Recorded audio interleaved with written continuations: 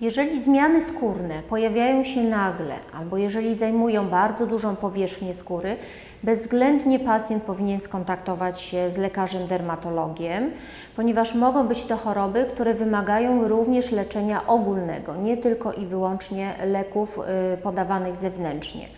Także zawsze przy zmianach niepokojących ta wizyta u lekarza dermatologa jest y, koniecznie potrzebna.